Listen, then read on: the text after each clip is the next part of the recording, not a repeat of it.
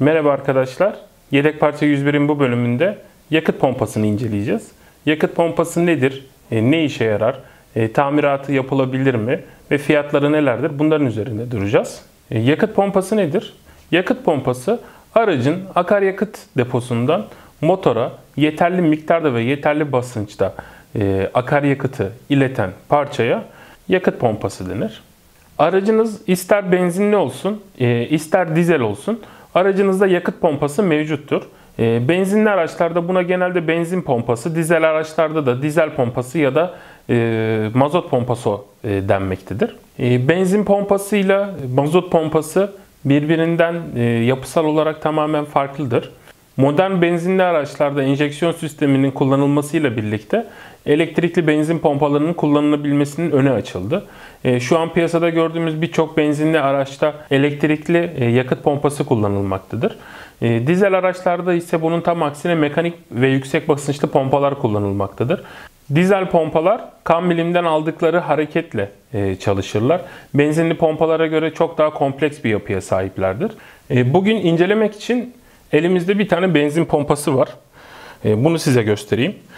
Bu benzin pompası kapalı bir devre içerisine içerisine e, monte edilmiş bir e, benzin pompası. Ben bunu açtım e, size asıl e, benzin pompasını göstermek için. Pompa bu içindeki metal olan yer. E, ucuna bir tane filtre bağlamışlar. E, bu filtre depodan direkt gelecek e, zararlı materyalleri ve kalıntıları e, içeriye alıp motora göndermemek adına e, konmuş buraya. E, diğer bir ucuysa da e, motora direkt akaryakıt gönderimi sağlayan hortum. Bir sonraki hortumda bu ikinci hortumda geri dönüş olarak pompanın kendi içindeki geri dönüşü olarak buraya konmuş. Bütün benzinli pompalar bu şekilde çıkacak diye değil bu kendi aracın e, tasarımıyla alakalı yapılmış bir şekil. Normalde benzin pompası dediğimiz bu içerideki e, metal pompa. E, bunun dışında e, benzin pompaları veya şöyle söyleyelim e, akaryakıt pompaları tamir edilebilir mi? E, bunu e, iki farklı pompa çeşidinde aslında inceleyeceğiz. Bunun bir tanesi benzin pompası, diğeri işte dizel mazot pompası olacak. Benzinli pompalar genellikle tamir edilmeyen, fiyatları uygun, bozulduğu zaman değiştirilen pompalardır.